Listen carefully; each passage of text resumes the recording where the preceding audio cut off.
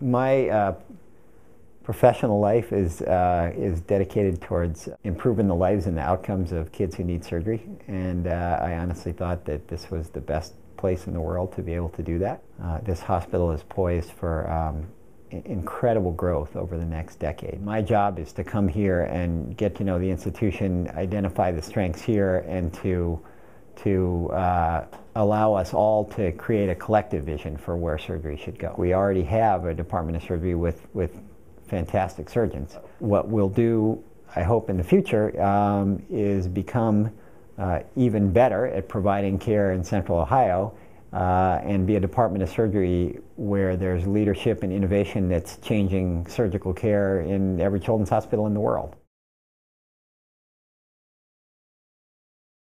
Necrotizing enterocolitis is a severe inflammation of the intestine in premature infants. My interest in the disease really started completely as a clinical surgeon. A, a network of centers around the country, which we're leading, is currently looking at um, large, large numbers of proteins and genes in the, in the blood and the urine of these babies to try to figure out which babies are at risk for NEC, and if a baby gets NEC, which ones will just get better on antibiotics and do well, and which ones will have all the severe complications that we're trying to prevent.